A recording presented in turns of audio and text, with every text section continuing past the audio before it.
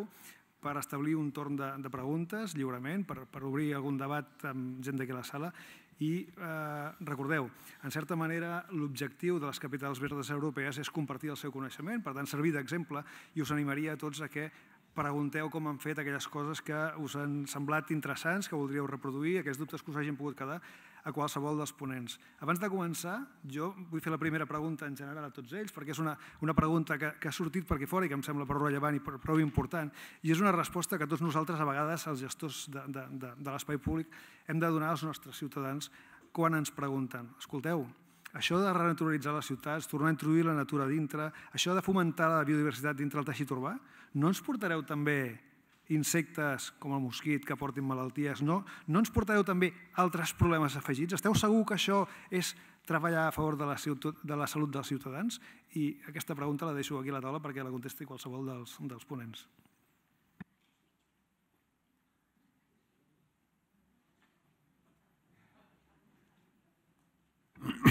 Bueno, pues sí, la verdad es que hay muchas redes ahora biofílicas, pero los biofóbicos no están asociados, pero son mayoría aplastante, al menos por el número de llamadas que recibimos nosotros en, el servicio de, respuesta al ciudadano. ¿no?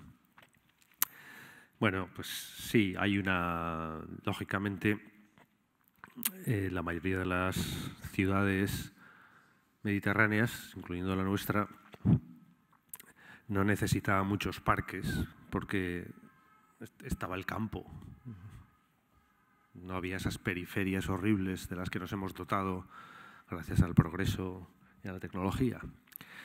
Bueno, eh, realmente las ciudades eran muy compactas, amortizaban el espacio de una manera increíble y bueno, dabas un paseo y estabas en, el campo, un campo productivo y maravilloso. Bueno, yo creo que los nuevos modelos expansivos, ¿no? pues para, tratar de, dotar de mayor calidad de vida teórica en función de la demanda social, pues se hacen más, menos densos y más abiertos y, todos los barrios quieren tener más espacio público, más zona verde, más aparcamiento, más de todo, con lo cual eh, realmente se van generando expansiones de ciudad eh, con unas densidades muy bajas. Las, últimas que se programaron en Vitoria eran bajísimas, luego se densificaron, pero eran del orden de las 34 viviendas por hectárea. Y entonces ya estás hablando ya de otro modelo de ciudad incluso dentro de un modelo tan compacto como el de Vitoria que ha permanecido ¿no? dentro del anillo verde y dentro de una filosofía compacta. No te digo ya en, las ciudades ya desparramadas por el territorio. ¿no? Bueno, cuando efectivamente iniciamos nuestro primer parque, que eran eh, esos humedales de Salburúa que hoy son Ramsar, eh, desde luego la Comisión Europea no nos, no nos, pagó 850 millones de pesetas para restaurar eh, la biodiversidad. O sea, el proyecto era para prevenir las inundaciones, es decir, era realmente restaurar un espacio cóncavo que había en el este de la ciudad y poder acumular 600.000 metros cúbicos que protegieran la zona urbana y la zona industrial. Además, bueno, pues los que proyectamos ese espacio teníamos una visión ecológica y juntamos objetivos, ¿no? pero desde luego el tema de la biodiversidad era un plus. ¿no? Y lo cierto es que nuestros responsables políticos estaban eh, asustados porque eh, la mayoría de, las llamadas eh, no eran para felicitar por haber conseguido dinero de Europa, sino porque muy probablemente la malaria volvería a Vitoria, gracias a estos proyectos que iban a llenar de mosquitos y aquello iba a ser un sin vivir. Porque realmente se desecaron con un visto bueno social, precisamente porque estaban vistos como un foco de infección y era, y era el nuevo progreso, era era quitarte una infección o un riesgo de infección para eh, producir eh, alimentos eh, sanos. Bueno, yo creo que eso, si se hacen los proyectos bien, pues, pues desde luego no tiene por qué producirse, hay que tratar de, lógicamente, de simular o estimular unos procesos ecológicos lo más completos posibles y en general vamos a decir que el, los problemas están bastante acotados. Hay problemas de alergias con, determinadas especies, hay problemas eh, de biofobia que, efectivamente hay muchas personas en el ámbito urbano que es que ven un mosquito y ya se mueren, ¿no? Una, un, cualquier eh, insecto. ¿no? Eh, nosotros teníamos prohibida la, palabra polinización la, la legislatura pasada, ¿no? porque las praderas de flor, ¿no? pues, para fomentar un proceso vital básico en la vida del planeta, como es la polinización, pues no se podía nombrar en, la ciudad porque todo el mundo lo iba a identificar con abejas eh, asesinas. Entonces, bueno, sí, sí es un, es un, se puede convertir en un problema si no se gestiona bien, sí, desde mi punto de vista. In a completely different way, uh, the city, um, the former areas of the coal mines and uh, where um, are now uh, hotspots of biodiversity. And when I talked uh, about these new creeks and the green uh, spaces and the access, uh, these are just uh, like a chain of pearls, uh, um, an interlinking of the biodiversity areas. In the, in the southern um, area, in the Ruhr region, we have a 150 square uh, square hectare, a big um, Natura uh, 2000 area and uh, um, uh, flora fauna habitat there. So if you have a lot of different spaces, sp species in different spaces, you won't have so much problems with mosquitoes due to bats and animals and birds lo loving them, eating them. However, this is a problem we have to, fa uh, we have to face and uh, we have to uh, uh, show up with solutions about the new feeds and new, and, new spaces coming up.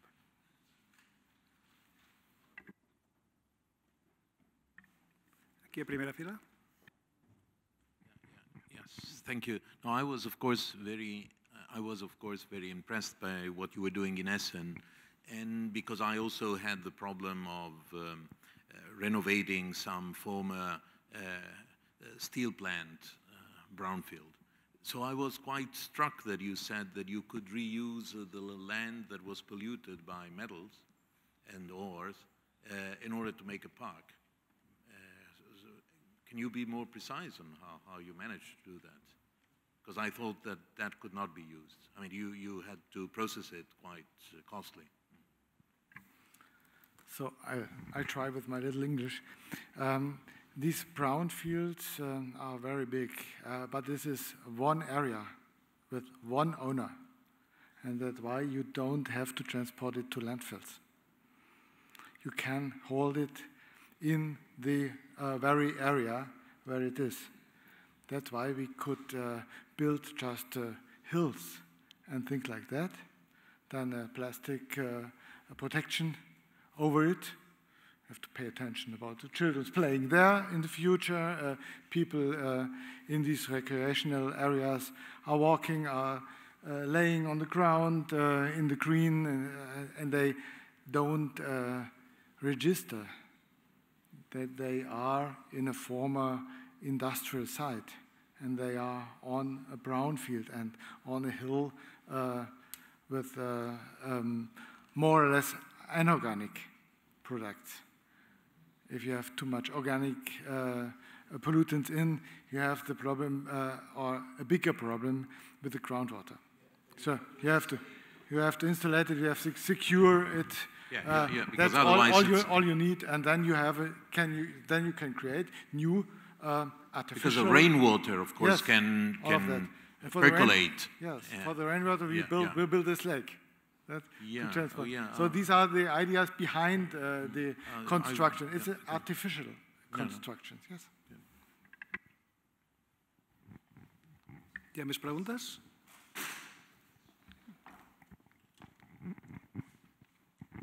Hola, yo, quería haceros dos preguntas. Una primera porque creo que ha salido en Ljubljana, que lo ha, comentado, con el tema de la normativa. ¿no? Si a veces con todas estas estrategias verdes, infraestructuras, cosas que igual no están previstas en unos planeamientos o así, ¿qué, qué pasa con esta normativa? A veces un poco la violentamos o no, etcétera, y cómo, cómo lo habéis conseguido.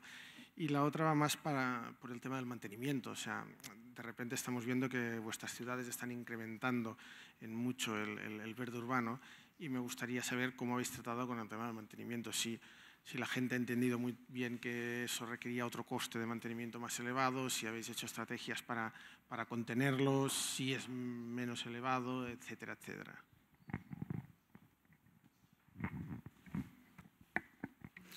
Well, about yes, forcing reg regulations, uh, that's, that, that, that, is, that is fun, but that is, I, I believe in, in all the cities, uh, uh, a little bit the same. Uh, the, the, the, the state, the national regulation is always, well, catching up or, or being a little bit, um, let's say, slower. And the cities have the opportunity, and we are trying to do that with all the respect for all the national legislations to push it, to, to try to, to, to see that, uh, you know, for Slovenes, they are saying that everything has to be also in order before you start working. But, you know, it's, uh, you have to force it a little bit. Um, uh, because now, I mean, also the government will see, okay, uh, let's let's do it. What is what is your uh, your opinion? This is not the only way, but uh, the cities are well known to be uh, more of a pioneer in the in the sense of of pilot projects, let's say.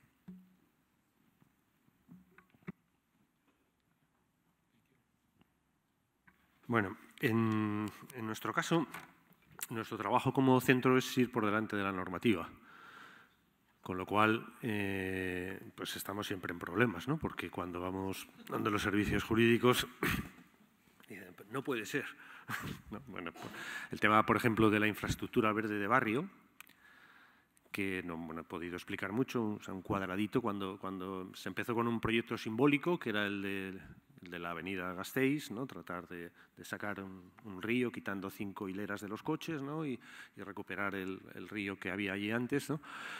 Eh, bueno, pues eh, era el proyecto bandera del alcalde de la Capitalidad Verde. Bueno, eh, lo que ocurre es que eh, le proponemos al, al, al alcalde pues, eh, iniciar un proyecto de infraestructura verde de barrio y que se genere una especie de competencia entre los barrios para ver quién es eh, más verde en esta nueva visión infraestructural. Pero claro, el, el, ayuntamiento no es una ONG y entonces normalmente invierte dinero y genera estructuras para resolver problemas. No resuelve no problemas. Entonces, realmente nosotros convencimos al alcalde de que además de, de una, unas oportunidades excelentes ¿no? de sumarnos a unas políticas europeas, etc., teníamos dos problemas. Uno, teníamos 46 metros cuadrados por habitante de zona verde. De, de, zona verde. Y eso era una barbaridad. Es una, es una barbaridad, diría yo, que casi ingestionable.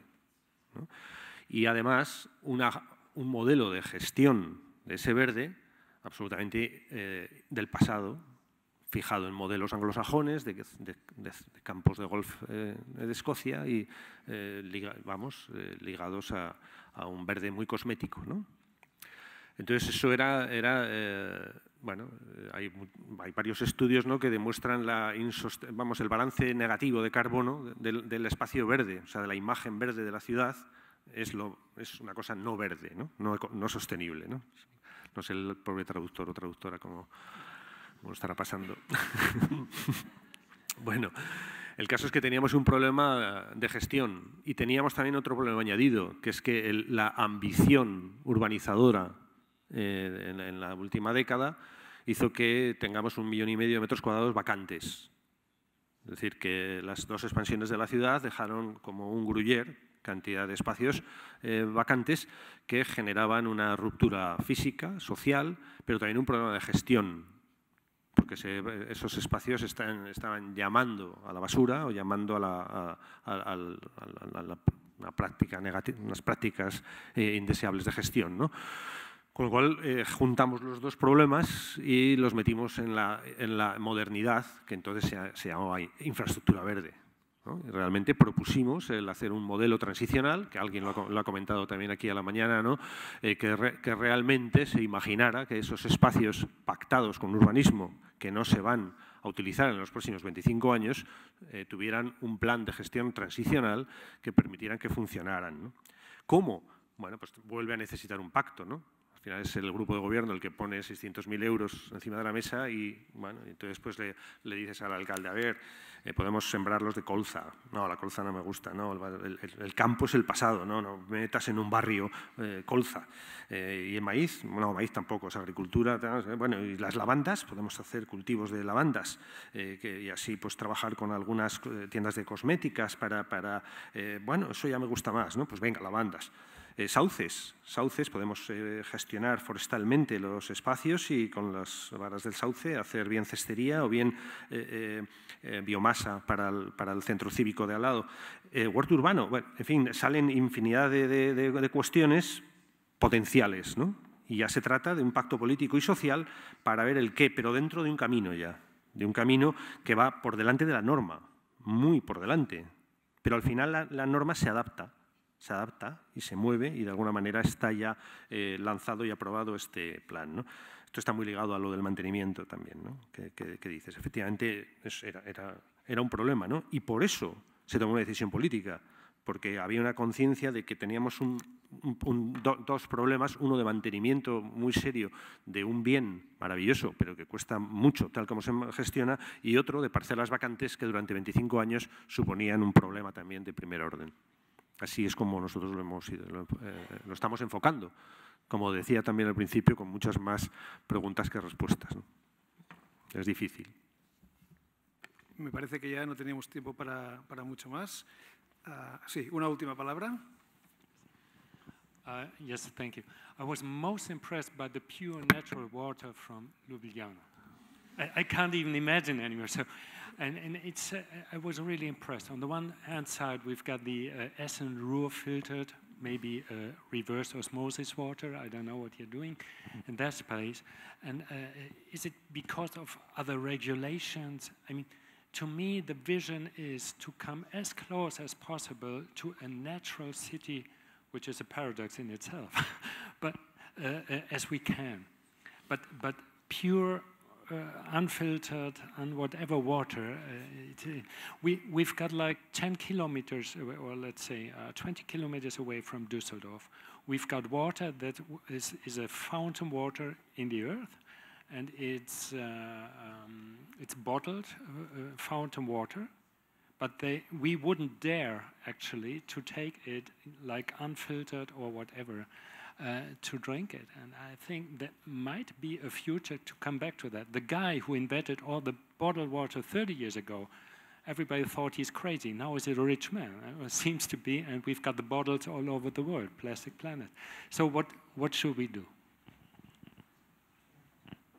Well, um, in, in this sense, I have to say that we had some luck. uh, uh, Ljubljana lays on a really uh, a lot of water supplies, underground water supplies, and we are just lucky. Uh, I, I, talked to one of the experts. I'm not the expert. I'm not the biologist or, or chemist, but we have luck uh, to, to, to have all these reserves.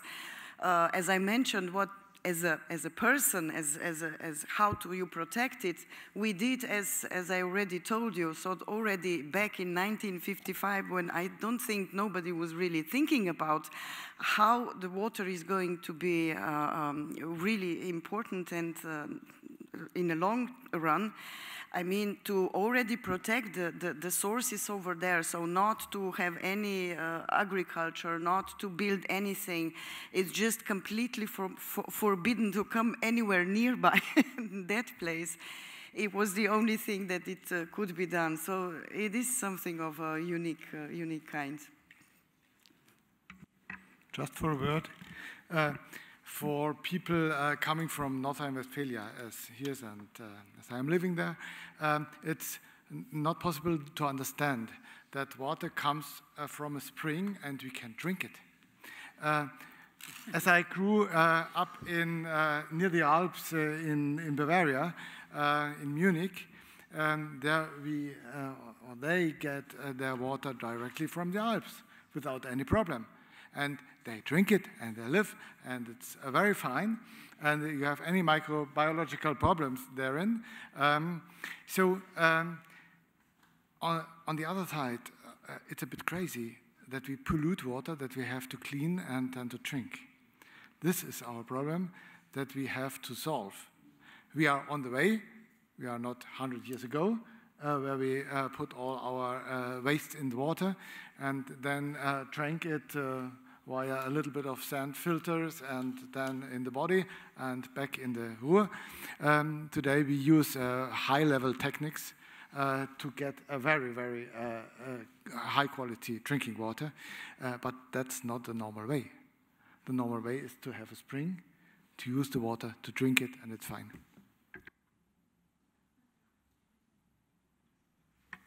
Bé, doncs, thank you very much uh, for your assistance. Moltes gràcies a tots per la vostra assistència i als organitzadors per haver organitzat aquesta jornada. Crec que el panel aquest ha sigut suficientment interessant i ha cobert de sobre els, els objectius marcats. Eh, hem tret molt bons exemples, crec que ens hem quedat impressionats per l'experiència d'aquestes ciutats i eh, animar-vos doncs, a seguir els exemples i aquelles coses que us hagin semblat interessants.